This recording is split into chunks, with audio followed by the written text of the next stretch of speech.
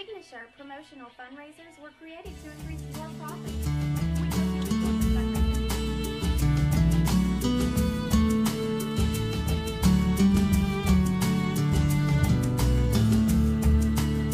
Most people would say the slumping US economy is a topic better suited for CNN than PTO. But the slumping economy is certainly having an impact on schools, camps, and other non profit budgets.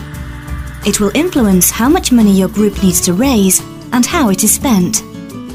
Because discretionary spending has declined among most American households, it's more important than ever to get the most bang for your buck by running efficient and profitable fundraisers.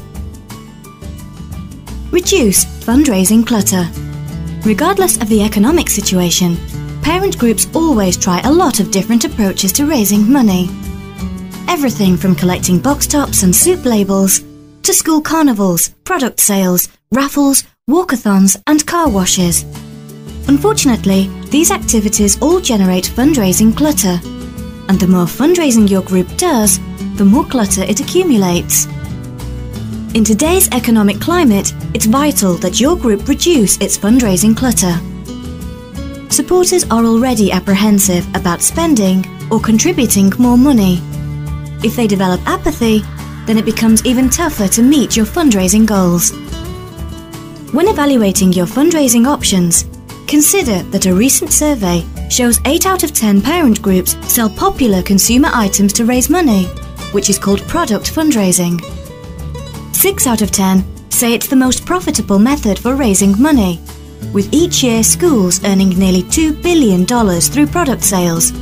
And SIGnaShirt Specialties promotional fundraisers fit the current economy perfectly in every respect.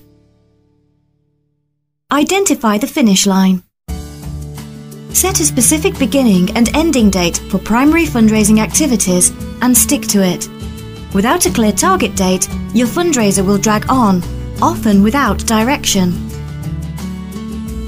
Keep energy levels high.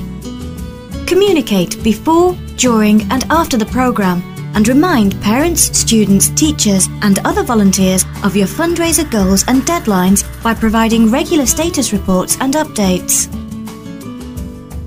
Remember to say thanks. Don't forget to thank all your supporters and let them know when the fundraiser goal was met and how the profits were spent.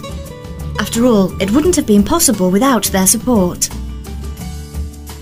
Have fun! With the right approach, fundraising itself can bring ownership and pride to everyone involved. For additional information on how SIGnaShirt Specialties promotional fundraisers boost profits while creating a fun event at the same time, simply click the video link below or visit fundraiser.deco-craft.com to view a fundraiser example website provided to clients of SIGnaShirt Specialties promotional fundraisers.